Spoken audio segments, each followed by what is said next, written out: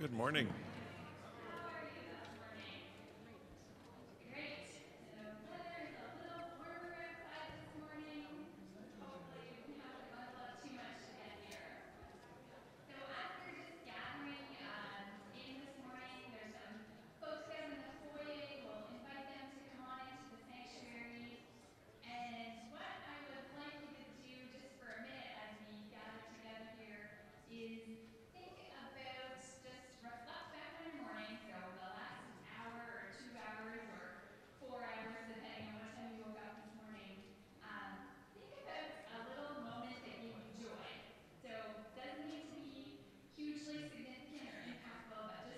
Think about whatever the events of your morning were and what gave you what gave you joy this morning.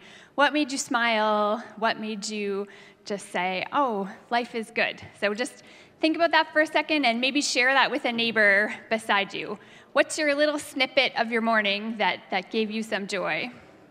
So share that around. People who are online with us this morning feel free to type that in the chat. And uh, let's Let's reflect on what gave us joy this morning.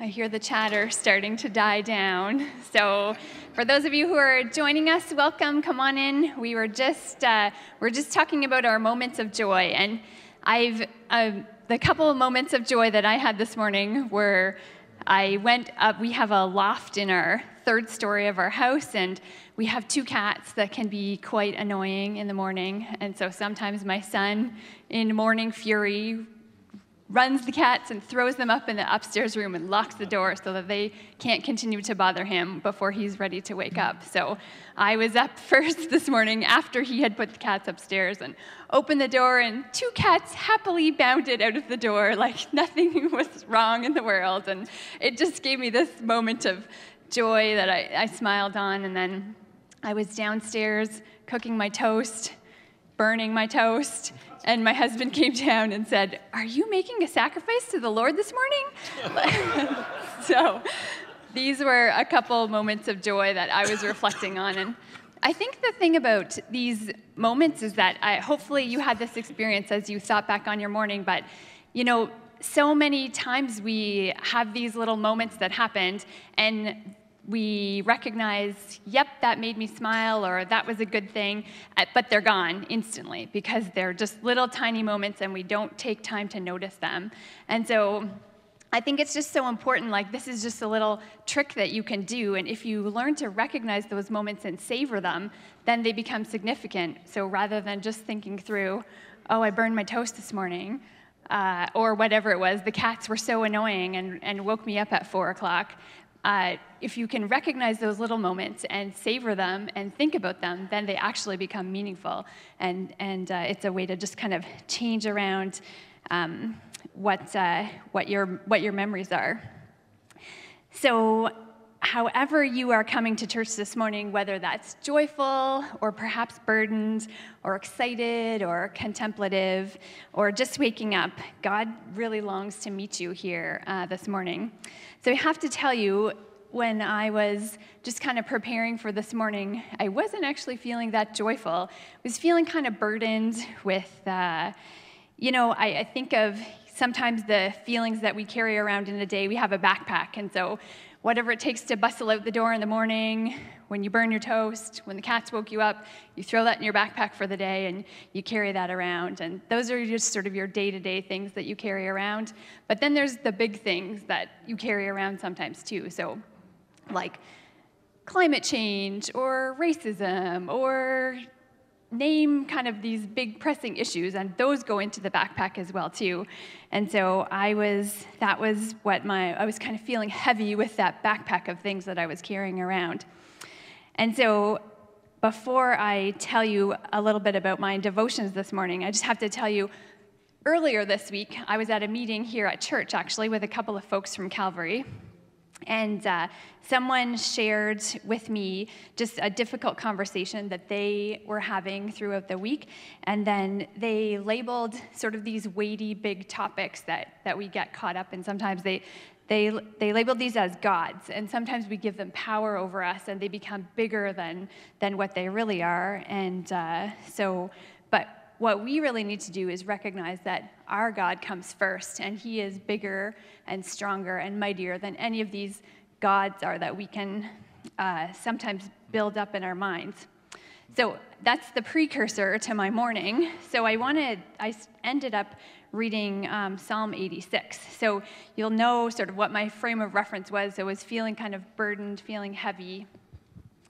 And starting in Psalm 86 at uh, verse 4, it says, Bring joy to your servant, for sorry, bring joy to your servant, for to you, O Lord, I lift up my soul.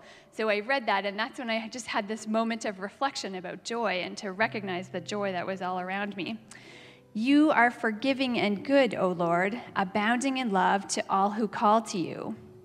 Hear my prayer, O Lord. Listen to my cry for mercy. In the day of my trouble, I will call to you, for you will answer me. And then this is the next verse Among the gods, there is none like you, O Lord. And that, that verse just jumped out to me, and, and I remembered the conversation that had happened earlier in the week. No deeds can compare with yours. All the nations you have made will come and worship before you, O Lord. They will bring glory to your name. For you are great and do marvelous deeds. You alone are God. Teach me your way, O Lord, and I will walk in your truth. Give me an undivided heart that I may fear your name. I will praise you, O my God, with all my heart. I will glorify your name forever. For great is your love toward me. You have delivered me from the depths of the grave. So my morning just turned around from that, this passage and recognizing this passage and where I had been. And God spoke to me about I'm here with you. Put me first in your life, and I will help you through all these other pieces. And I am getting to announcements, but what, uh, what I was recognizing is that God's voice in this particular situation, it was in that conversation that I had had earlier in the week, was what sparked that, that thought in me. So at Calvary, we've been talking a lot about um, being coming together as a body and, and using our gifts, and there are lots and lots of opportunities to get involved here. So first of all, awesome that you are here this morning, and to be part of our community is a, is a really wonderful thing. To people who are online, we just invite you to join in through the chat and be part of um, be part of this conversation and our, and our interactions together as a body. Um, so I want to tell you about some of the awesome things that are going on this week. Um, on Tuesday, the, our, we have a 50s plus group that is our seniors group, and they are doing an event called Sweet Music. So they've got a music therapist coming in, and she's going to bring a guitar and some other instruments, and sounds like a really great time of fellowship um, together. And and there's going to be dessert afterwards as well too. So we would invite you uh, to come out to the, that event on next Sunday, you need to be here on Sunday because we're going to be having a chili cook off. So, this has been a couple years uh, on pause, so we're pretty excited to have this back um, in our community. And I hear that there's one more spot available, so if you had been thinking about making a chili, uh, we would love to have you enter your chili uh, into our chili competition. So, please uh, reach out to Rhonda or Kelly to sign up for that. And if you're not into making chili, um, just come on, come on out anyways. Um, you can bring some. Uh, you could bring some bread or some salads. Desserts, I hear, always go over well. Um, so that's a way to get involved um, next Sunday. We do have a men's group that has been going on, and they've been on a little bit of a pause, but it's about to start up again on February 21st. So, men, mark your calendars. I understand that that has been a really incredibly rich time of community, um, and that's resuming uh, coming up in the next couple of weeks. And if you are here at Calvary and you are new to Calvary or new-ish, we use the word new in a very broad, uh, broad sense. But we, we're beginning a group uh, that's called Elements, and it's starting next Thursday evening. And it's just a way to kind of connect in, to learn a little bit more about Calvary, um, learn what the heartbeat is of is of our church, connect in with some of our staff members. It's going to be a three week session. Um, again, please reach out to Rhonda if that's something that sounds uh, interesting to you. And know that if perhaps you didn't receive a personal invitation to that, you are invited. And that is something that we're really hoping that people will come and plug into. Um, one more thing that I just want you to put on your calendars is our AGM is coming up, and so that's going to be our the last Sunday in February, February 26th. It's going to happen right after the service, uh, so more details are going to come about what that will look like. But that is just a really great time that we come together as a church um, and we reflect back and celebrate some of the goodnesses that have happened uh, over the past year. So that will be uh, a time that we do that together uh, as a church body. And you probably saw this if you received the Calvary Connects, a, a little electronic newsletter that goes out. But we did end last year. We went into December with a $65,000 deficit, and we ended December just at a $5,000 deficit. So our God is a good God, and we are excited uh, to celebrate. Um, what our last year was, and but more importantly, what our what our year to come is. So, see, I told you I'd get to announcements. I, I'm going to just uh, lead us in prayer here as we uh, enter into worship, and the worship team will um, lead us forward in some songs and some praise.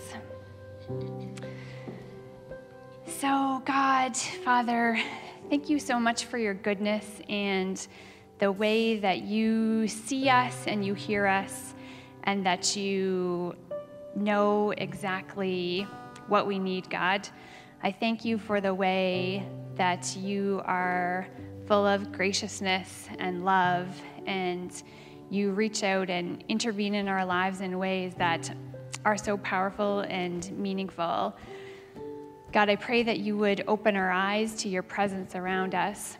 I pray that you would help us to be looking for opportunities to connect with you, to recognize you, to connect with others and, and point others to you. God, I thank you for your presence in this place this morning. Thank you for your comfort and your peace that you lavish so generously on us. God, I pray for um, your glory to be felt here this morning. I pray for that that each person here would be would be um, would walk away from this place knowing that you are active, you are powerful, you are God of the universe, and you care deeply about each and every one of us. Thank you for the love that you abundantly pour on us. In your name we pray. Amen.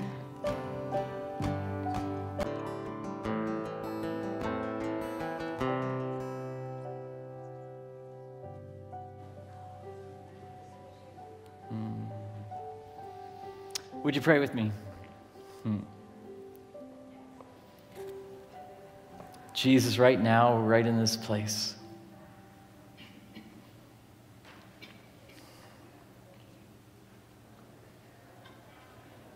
Come and meet us. The one who holds within his hands the heaven and the earth, hold us. Come, bend near us. Hmm. Come breathe upon us right now.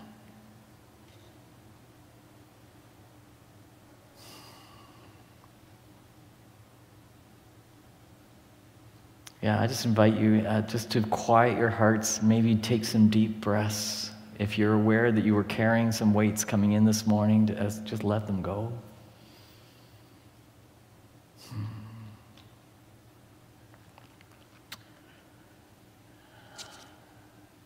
And God, we invite you.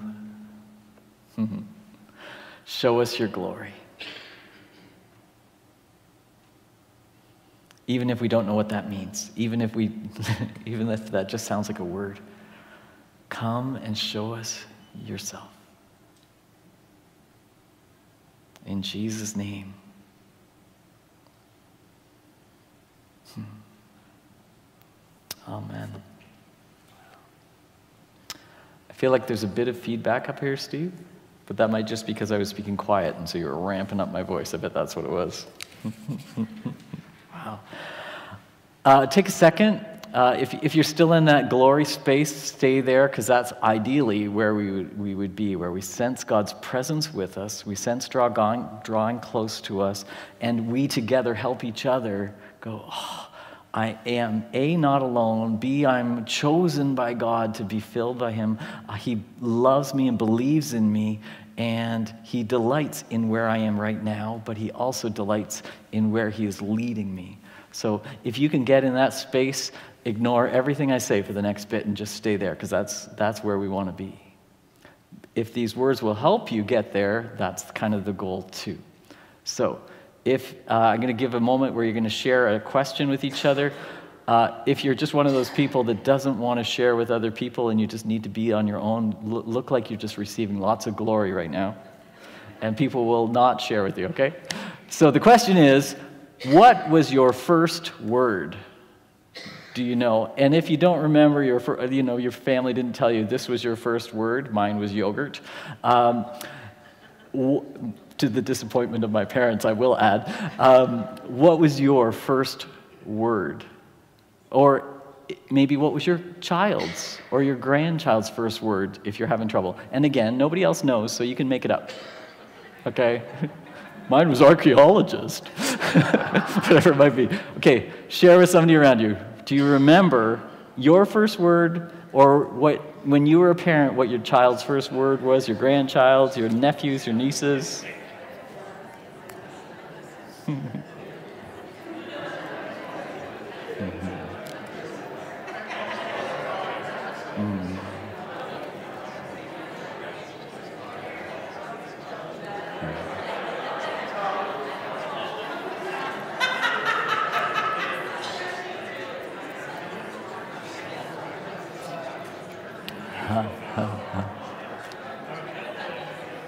Okay.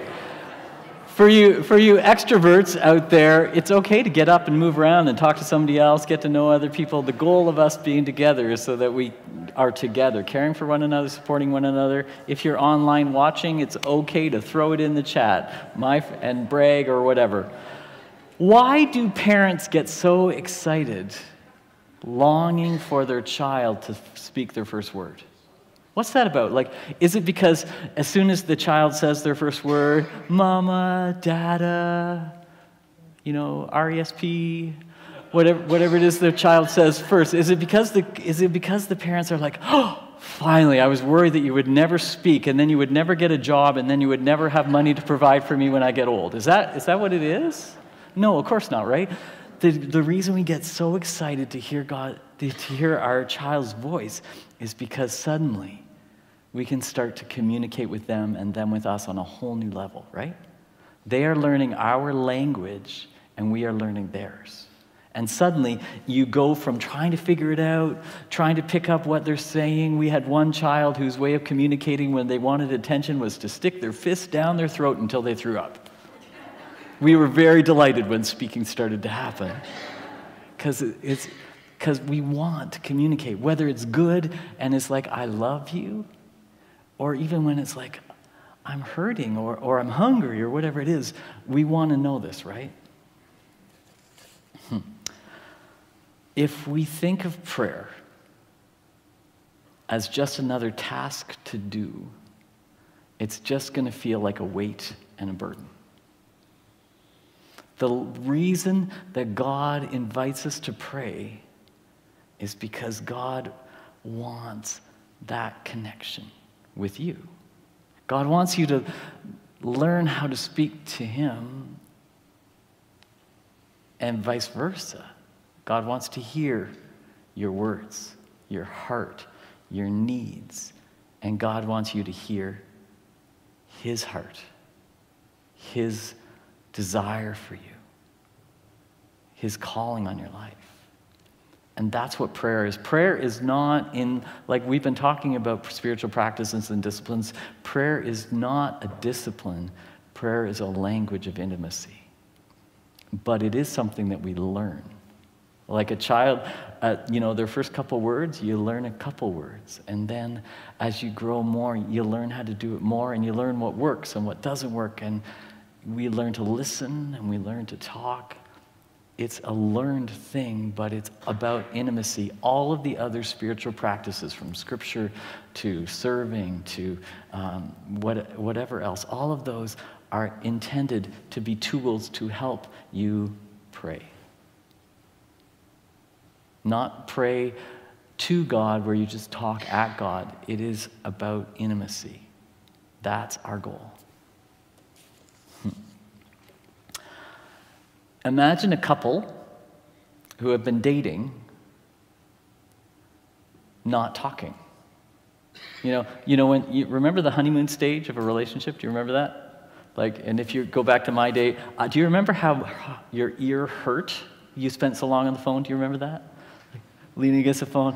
Oh no, let's keep talking. I'll just lie in bed here and we can fall asleep. Did you ever? No, you never. I, we didn't do that because Tracy, Tracy is far too practical for that. But, but you know what I mean? That love language, or or or, or like uh, when Trace comes home from work, and we get to home from work, we love to just sit down and talk. We connect. It doesn't have to be about anything special. It's about you know like how the day went. Maybe there's funny stories. Maybe there was nothing significant. Maybe it's just connecting. There's not a lot happening, but there's this moment where we just get to like reconnect, right? Do you have that with someone? And if you don't, we would love to help you get into a small group, a group to so that you're connecting with people because God meant us to do this together. But that picture, whether it's a child, whether it's someone you love, the picture of communication, connection is the heartbeat of prayer. And I want us, more than anything else, I want us to be hung, stir up a hunger in us for that. There's no shame if you feel like, oh, I don't know if I have that kind of prayer relationship with God. I hope that it stirs up a hunger in you because God is like a parent looking at you and going, oh, I long to talk with you. I can't wait until you start to find your words of prayer. And it's just delight. It's just the connection. And it doesn't have to be about anything huge or glorious. It can be about what happened in your day, but it's the connection that starts something profound and moving. The one who holds the, us in his hands, the heaven and the earth, is holy, but loves to hold us and speak to us. Hmm. Uh, prayer is not a practice, then, it's about a relationship. So I want us to go to the, um, I left my phone. Look the other way for a second. I want us to go to the first slide, if you can pull that. Next slide after that. There we go. So we're not going to put, if you want, turn to Luke 11. We're going to get there. Um, if you want to you know, grab your thing, I think on the Pew Bibles it's page 735. But here's this thing that's happening leading up to Luke 11. Jesus multiple times in Scripture it says Jesus often went off on his own into the wilderness to pray. And the reason it's in there, and it, it shows up multiple times, is because Jesus had this as a regular practice. The more, in fact, that Jesus' ministry ramped up, where he was healing more, teaching more, crowds were coming, the more he, it, it seemed like the more he would disappear. And the disciples are, Where did you go? Oh, he's off praying again you know, when there's work to be done, right? Jesus often went off to pray, to communicate, to connect with God. I think that if we got to hear some of those prayers, it would just be like, you wouldn't believe what so and so did today. Or, you know, it wasn't always profound and deeply religious. Jesus loved to connect with God. And he knew that getting away was the way that he got filled with power, filled with peace, filled with his presence, got connected so he knew what God was doing. That's what it's about. Hmm.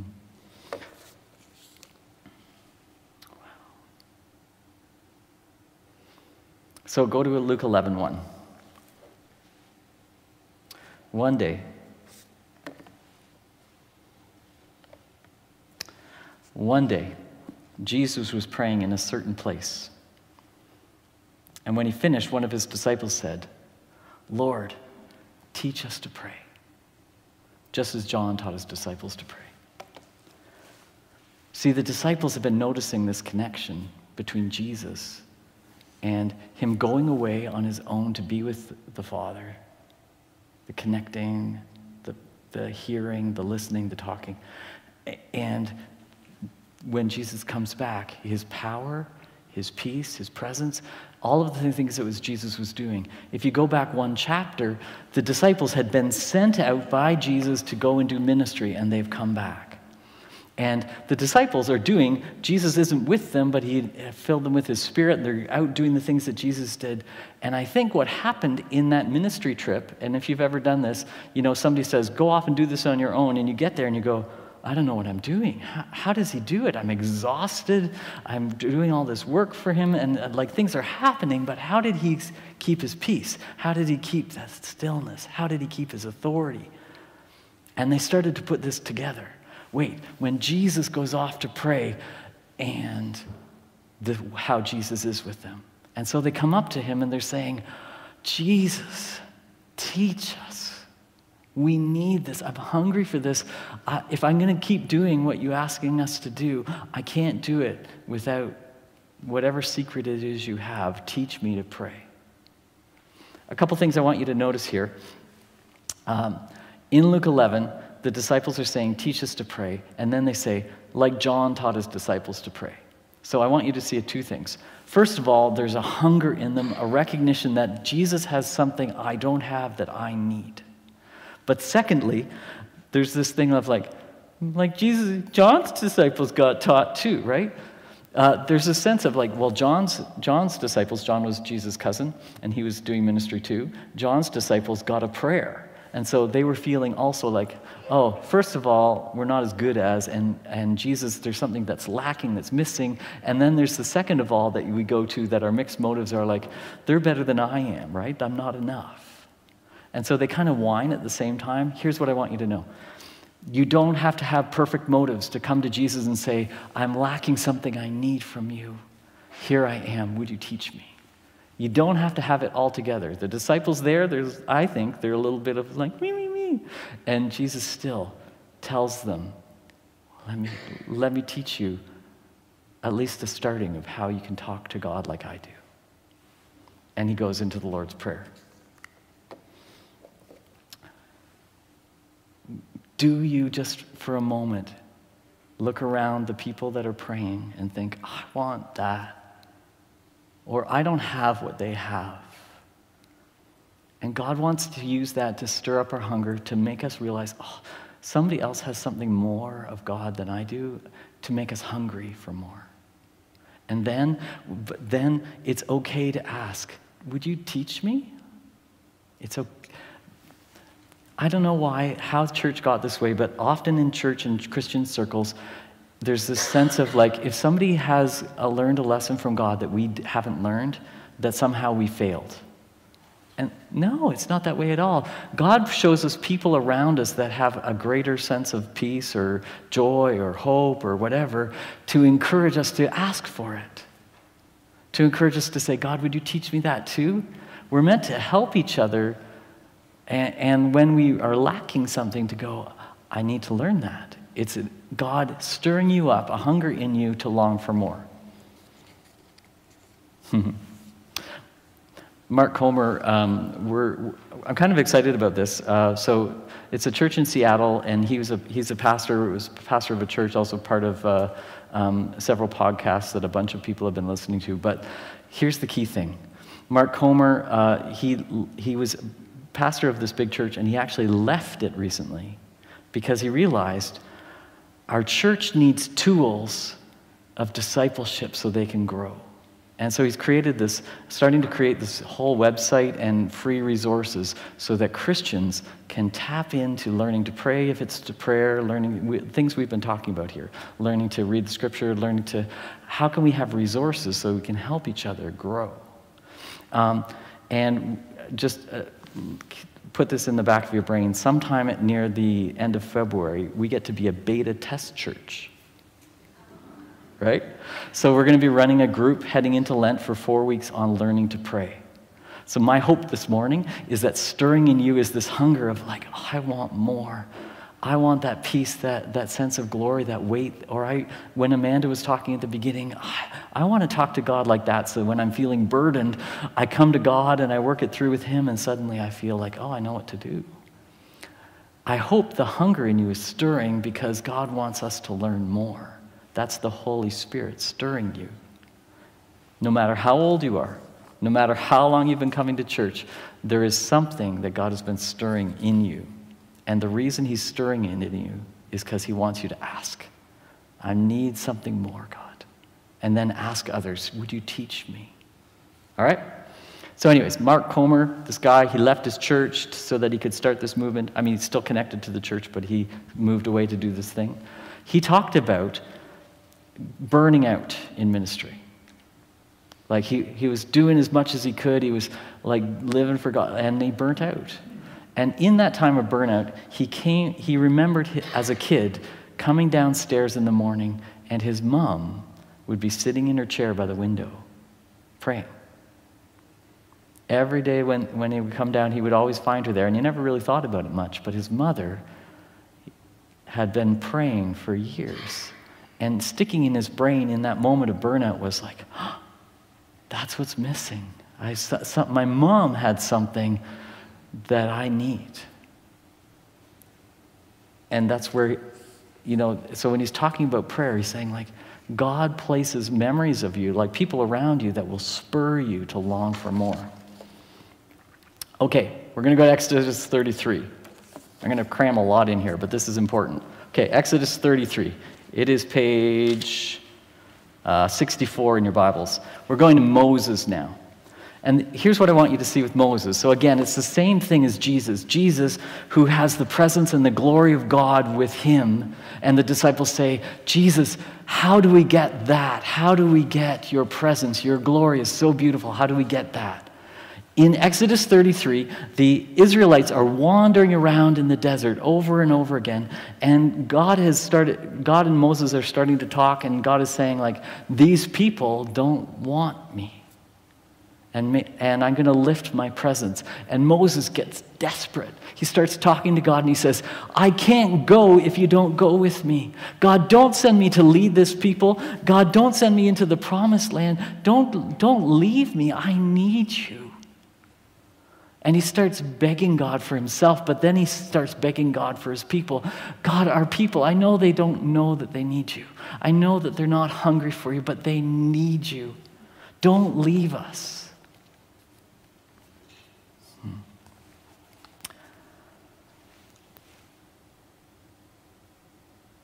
So, how is the, what's the response? I, I want to get this right. What's the response that Moses has? Moses is talking to God. He's desperate for the presence of God, the glory of God. And Moses uh, is talking to God about it. And you, sometimes, you know, you're looking at people and you're going like, why don't they get it? And like Moses sometimes gets grumpy and angry and, and, and even rebukes the people. But this time, he does exactly what Jesus does. This time, he talks to God and he says, what should I do? And so he goes and he sets up a tent right outside of the camp. And he calls it the tent of meeting. And Moses starts to go there every day. And when he goes there, the presence of God, like a glory cloud, descends upon the tent. And Moses talks with God face to face.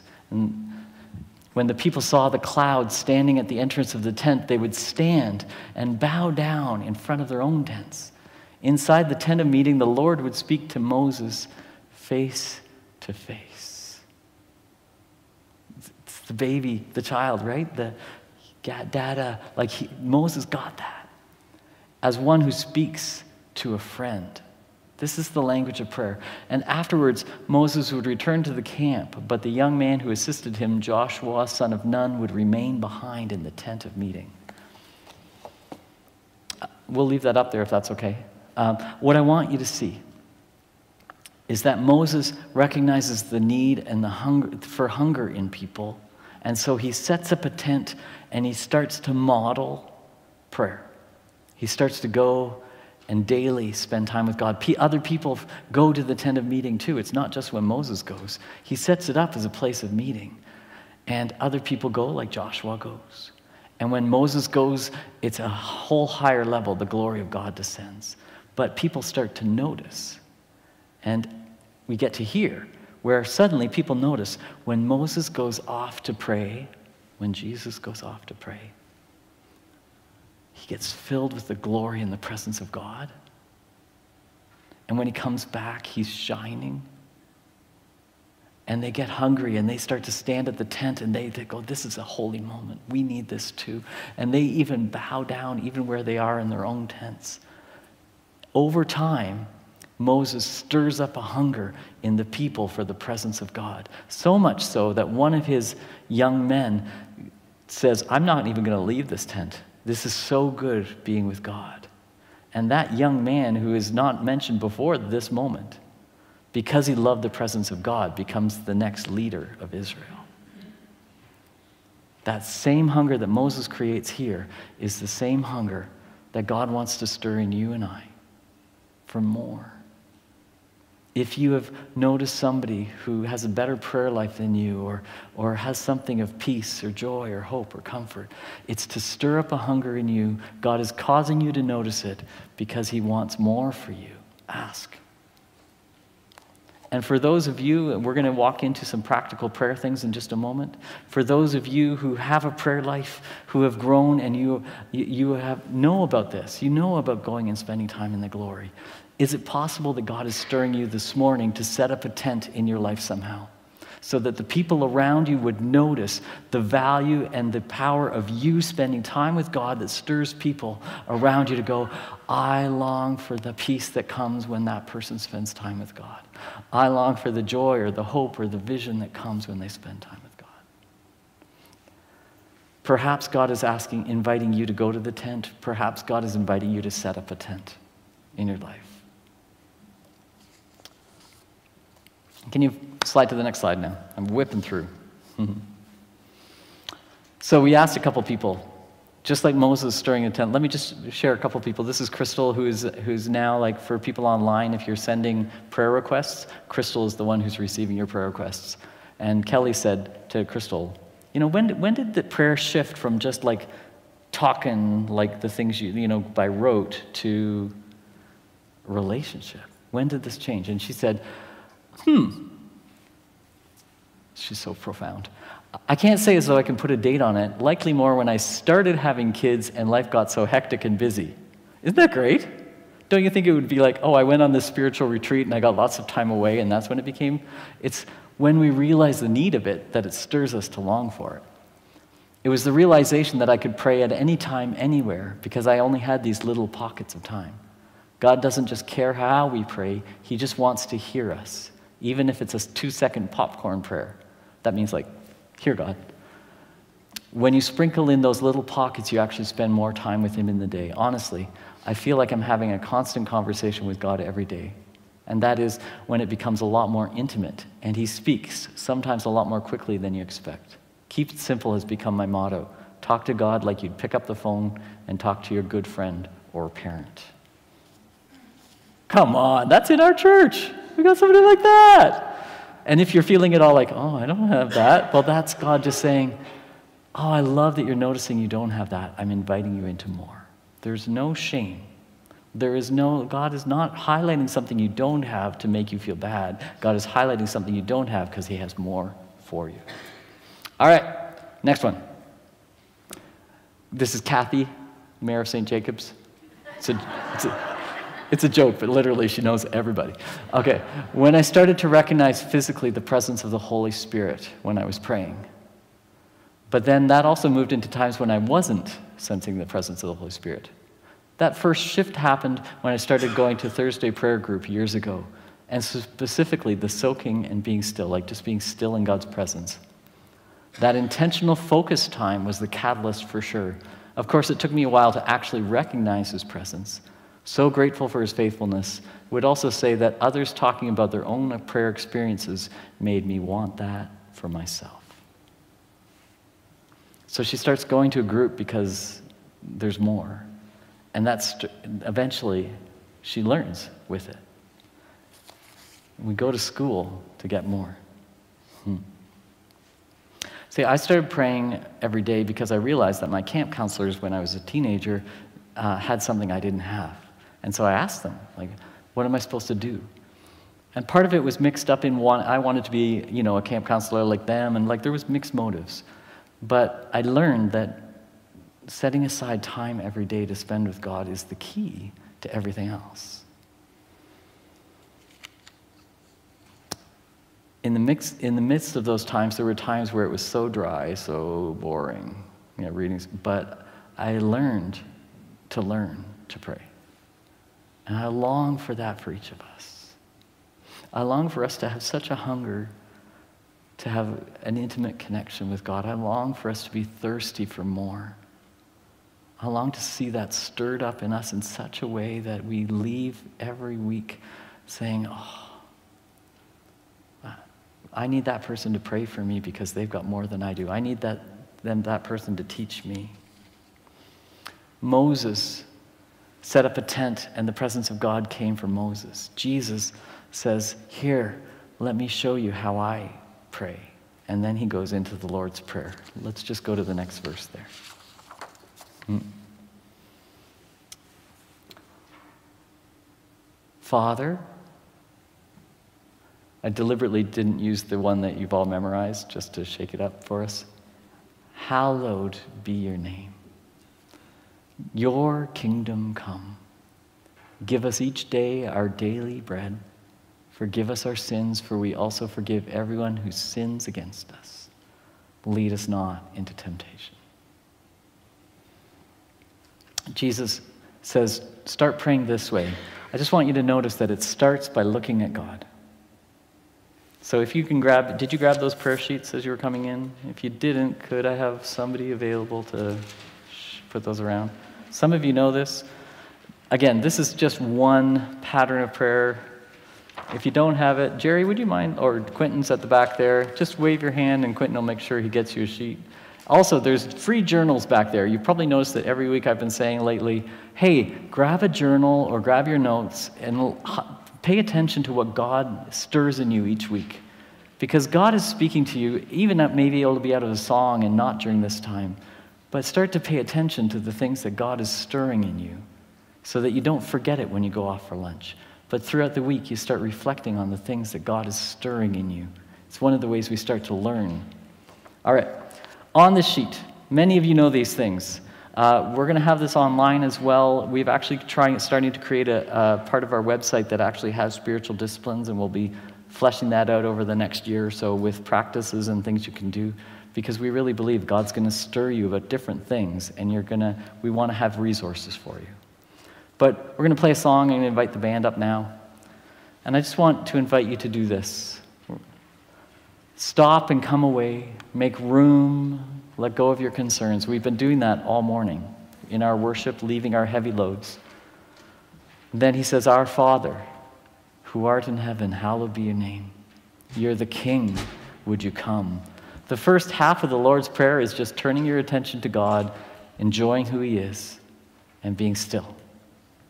Our Father who art in heaven, hallowed be your name. Your kingdom come, your will be done and then, he, then you start to pray about your needs. What needs? Be aware of the things and just, again, leaving your loads with God. Your provision, daily bread, forgiveness, God to lead you not into temptation, but to deliver you from evil. And then look back again at God. Would you just take a few minutes as we sing this song? Either use that kind of list of things to do, begin with thanksgiving, or just use this simple Stop. Look to the Father, your needs. Use the Lord's Prayer to cue you to pray. Look at God. Lay down your needs. Look to God again. Jesus, I pray that you would draw us into the tent of meeting right now. I pray that you would descend in glory in this room. And as we wait upon you, that it would become personal, that we would see ourselves as beloved children of you, and that you look to us and just are delighted to hear us speak. We don't have to get it right, we're just learning. And whether we've been praying for years or starting for the first time, it does, you are just as delighted, just as excited for each one of us. So we look to you. We lay our needs before you. We listen for what you want to say to us. And we say, Help us, go with us into this week. Take some time on your own. So there's some servers that have been asked to come up and serve, so I'll invite you to come forward as I introduce this. But here's what we're doing. Hmm. I, I, found it funny that Amanda came, started the service with weights like the burdens that we carry, the weights. And then Aiden had something about weight that wasn't planned, that just happened. But did you know that in Scripture, the word for glory is weight? But instead of it being the weight of our lives, it's the weight of God coming upon us. When Moses went into the tent, when Joshua stayed in the tent, it was because the weight of God being close was greater than the outside pressure of the world. When the disciples came to Jesus, they said, The weight of ministering is too much. How do you do it? Teach me your secret. Teach me to pray. And so for us today, probably some of us are like, Oh, that's it. That's what's been missing. I've only been praying a couple moments, or I'm just talking at God, or, or I need to learn something new about prayer to walk me through the season I'm walking in. God wants to draw close. God wants to carry the burdens and allow the weight of His glory to be what fills us, what rests upon us. He wants us to know His love and His mercy, His peace, the fullness of His presence. And He wants us to help each other in learning how to pray. I believe that this is a tent of meeting, this house. In fact, if you look up at the building, it's, it's sort of like a tent, really. When we come here, the purpose isn't to do your time at church and go. The purpose is to help, help each other draw close to Jesus. Hmm. So, Jesus, I pray that you would shift our thinking. That you would make us so desperate, so hungry for you whether it's out of what we're lacking or that we just want more. Thank you that that's you working in us to long for more of you.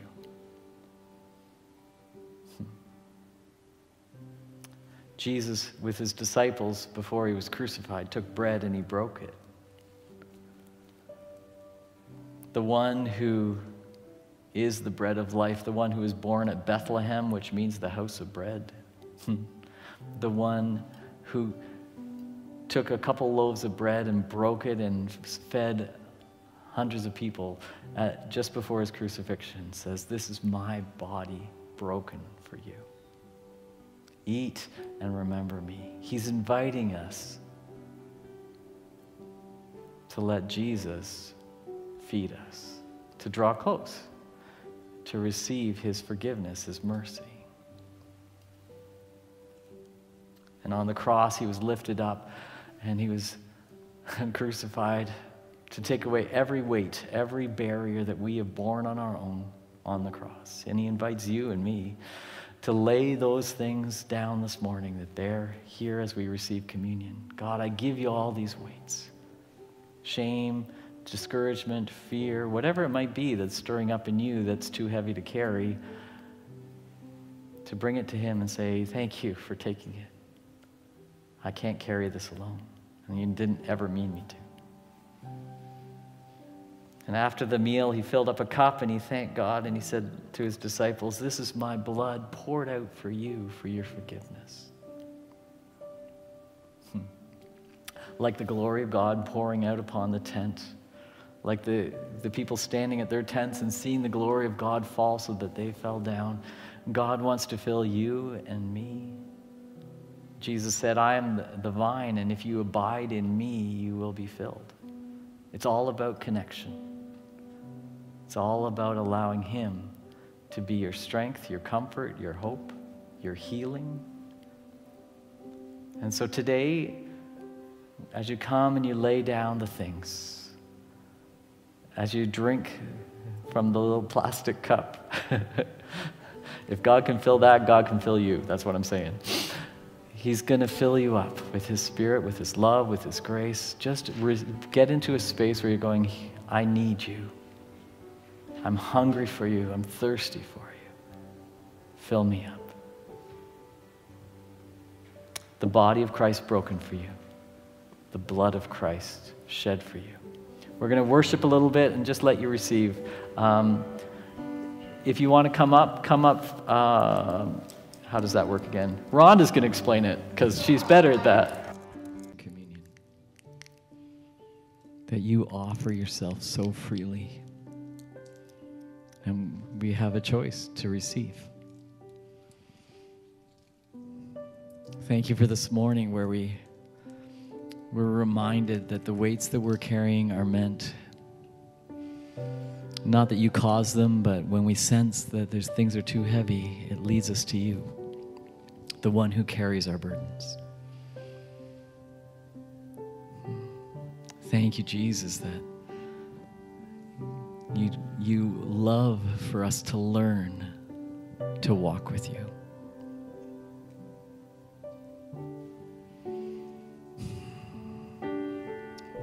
In this week to come, would you help us carve out space every day to stop?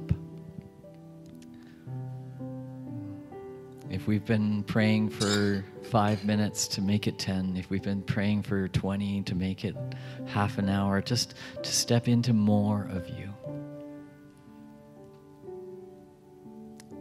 But to learn to hear you and to talk to you and learn that intimacy. God, stir up a hunger in us that nothing else will satisfy. No TV show can numb out, no busyness of life can quench, but that we would know we need you. We're desperate for you. Oh God, don't send us out into this day without you. We need you to go with us. Make us hungry for you.